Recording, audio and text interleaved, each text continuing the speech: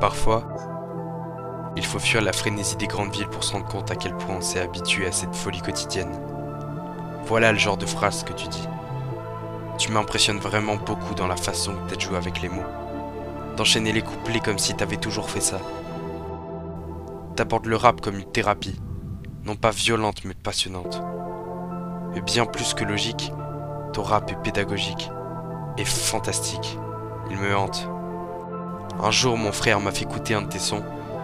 C'est alors que j'étais transporté par ta prestance, par tes mots, par ton flot qui en impose. J'ai grandi et je continue de grandir avec ta musique. Car feu ce que t'inspires en moi, c'est grandiose. Tu me transportes, tu me fais penser à autre chose, oublier mes névroses et découvrir la vie sous un nouvel angle. Tu m'as fait comprendre qu'il vaut mieux avoir de sérieux amis que des amis sérieux. Se concentrer sur ceux que j'aime et virer ceux qui n'en valent pas la peine.